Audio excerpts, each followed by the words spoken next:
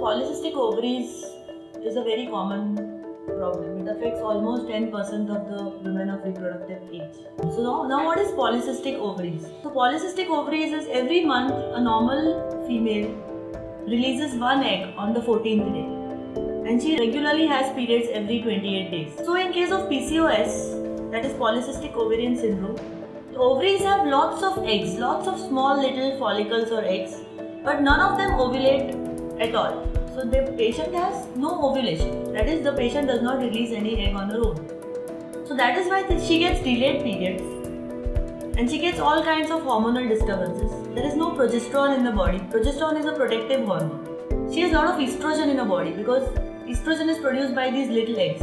But if there is no ovulation or no egg release from the ovaries, then there is no progesterone. So all these symptoms are because of excess estrogen of PCOS. So what are the common symptoms of PCOS? So a PCO patient will be typically obese. She might be a little bit overweight. She has hirsutism. She has a male pattern type of hair on her body, like hair on her chin. There might be hair on her tummy. There might be hair on other parts which are not supposed to be there. So irregular periods. The patient does not have regular periods. Now this typically starts in adolescence. Usually the mother comes with the daughter with complaints of irregular periods. So that's the commonest time where it starts. The daughter is a little bit obese, she doesn't listen to her parents, she eats a lot of junk food and she's a foodie. So basically, she comes with these complaints of irregular periods, and then we find out biochemically with reports, hormonal tests that she is PCO. So now PCOS patients, they have a problem in conceiving once they get married, once they're in their 20s and 30s. And this problem might increase with age. It's a genetically programmed disease. Like if you have a PCO, your sister might also have, your mother might have had PCO. So it runs in the family. They have problems in conceiving. They might need to go to a doctor to get pregnant. And in the later life, long-term complications include diabetes, early onset diabetes.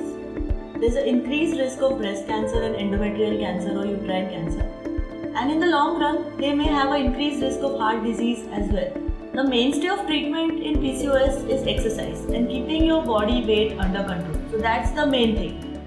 PCOS, if you have mild PCOS, which most of the population has, just a mild thing, if you get your weight in the normal weight range, most of these problems get solved. If you have PCO and you have hirsutism, you have a little bit of obesity, you have irregular periods, don't worry too much.